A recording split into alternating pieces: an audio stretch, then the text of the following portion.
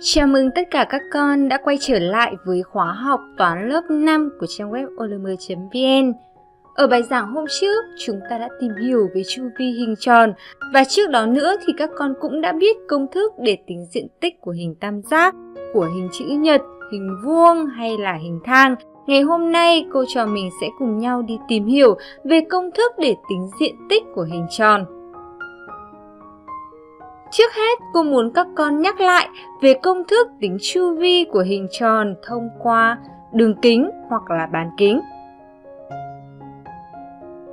Như vậy là các con đã nhớ được kiến thức cũ rồi. Bây giờ cô sẽ tiếp tục nêu ra một công thức để chúng ta có thể tính được diện tích của hình tròn như sau.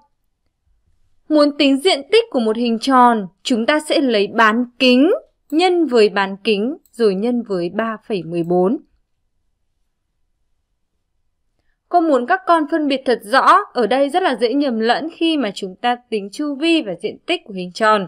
Đối với chu vi, chúng ta sẽ lấy 2 lần bán kính nhân với 3,14. Còn đối với diện tích, chúng ta sẽ lấy bán kính nhân với bán kính rồi nhân với 3,14. Vậy thì nếu như cô cho S là ký hiệu diện tích của hình tròn và R là bán kính của hình tròn thì chúng ta sẽ có công thức tính diện tích hình tròn là gì? Đúng như vậy, chúng ta sẽ có là S sẽ bằng R nhân R nhân 3,14. Các con hãy nhớ thật rõ công thức này. Để mở rộng hơn, cô muốn các con biến đổi công thức này về công thức tính diện tích của hình tròn khi biết đường kính. Đây là một công thức mở rộng. Bây giờ dựa vào công thức, cô muốn các con tính diện tích của một số hình tròn khi chúng ta đã biết bán kính hoặc đường kính. Các câu hỏi sẽ xuất hiện khi các con xem bài giảng trên trang web olm.vn. Như vậy là các con đã nắm vững được công thức tính diện tích của hình tròn. Bây giờ cô sẽ đưa ra một vài ví dụ khác. Bài đầu tiên đó là hãy tính diện tích của một mặt bàn hình tròn có bán kính là 40 cm. Rất dễ dàng đúng không? Cô sẽ trình bày ngay lời giải của bài toán này. Diện tích mặt bàn chính là diện tích của hình tròn có bán kính 40cm. Vậy thì chúng ta sẽ tính theo công thức là 40 x 40 x 3,14. Kết quả là 5024cm vuông và đây chính là đáp số của bài toán này.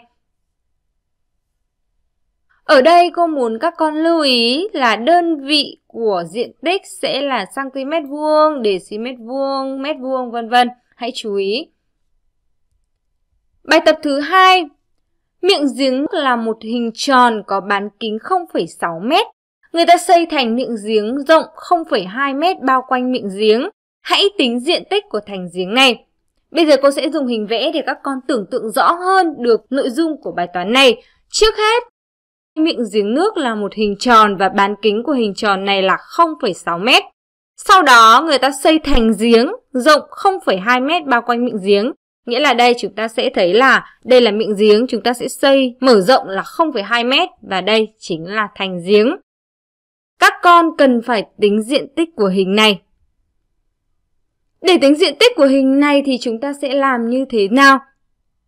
Các con hãy cho cô biết mối liên hệ giữa diện tích thành giếng với diện tích của hình tròn bán kính 0,8 m và diện tích của hình tròn có bán kính 0,6 m. Từ đó hãy nêu cho cô cách làm của bài toán này. Các con đã trả lời rất đúng. Bây giờ chúng ta sẽ cùng làm như sau. Ta thấy ngay diện tích của hình cần tính hay là diện tích của thành giếng chính bằng hiệu diện tích của hai hình tròn. Trong đó hình tròn lớn là hình tròn có bán kính là 0,8 m, chúng ta sẽ lấy 0,6 cộng với 0,2 chính là bán kính này. Và hình tròn thứ hai là hình tròn có bán kính 0,6 m như thế này. Vậy thì ở đây cô sẽ suy ra như sau. Trước hết ta cần phải tính bán kính hình tròn to hay hình tròn lớn là 0,8 m. Sau đó dựa vào công thức tính diện tích hình tròn thì chúng ta tính được diện tích hình này bằng 2,0096 m vuông. Tự, diện tích hình tròn nhỏ sẽ bằng 1,1304 m2. Từ đó, chúng ta sẽ tính được diện tích thành giếng bằng hiệu hai diện tích này và kết quả là 0,8792 m2. Chúng ta sẽ có đáp số của bài toán này. Như vậy, nhờ công thức tính diện tích hình tròn, chúng ta sẽ có thể tính được diện tích một số hình thông qua diện tích một số hình tròn đã biết. Như vậy, ở bài giảng ngày hôm nay, cô trò chúng ta đã cùng đưa ra công thức tính diện tích hình tròn, từ đó áp dụng vào một số bài toán. Để có thể rèn luyện thêm những kỹ năng liên quan tới tính diện tích hình tròn, các con hãy luyện tập trên trang web olm.vn. Cảm ơn các con đã lắng nghe bài giảng và hẹn gặp lại các con trong các video tiếp theo của olm.vn.